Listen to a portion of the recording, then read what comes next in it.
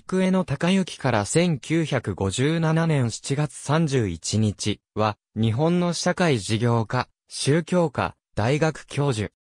吉田久一、一番ヶ瀬安子著、昭和社会事業史への証言において、日本社会事業の父と称されたとの記述がある。仙台藩士成功元吉の子。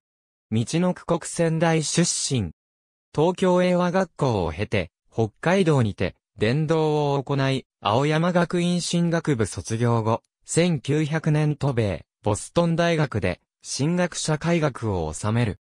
欧米の社会事業論からの影響を受けて、1909年により、内務省社会局嘱託に就任、社会立法の成立や現場の指導に幅広く、従事した。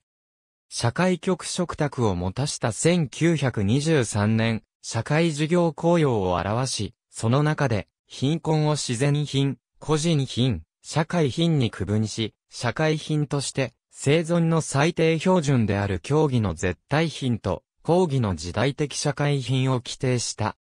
このような幾重野の貧困者の捉え方は、当時の社会事業界で、最も先駆的なものであった。東京キリスト教青年会理事、東京府社会事業協会理事などを務め、1918年日本女子大学教授となった。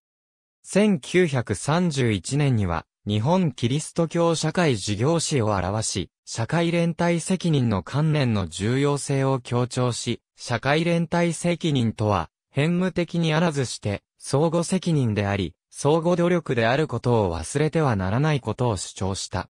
なお、彼は、青山学院在学中には、山室軍平との出会いを経験している。1943年から1945年にかけて青山学院理事長として軍部の教育方針と敵対した。戦後は社会福祉法人、敬愛会などの設立に高橋直桜と共に奔走した。同志社大学、今出川図書館には、高幸の孫である日本福祉大学教授、生江野明が高行の蔵書に1700冊を寄贈しできた、幾重の文庫がある。ありがとうございます。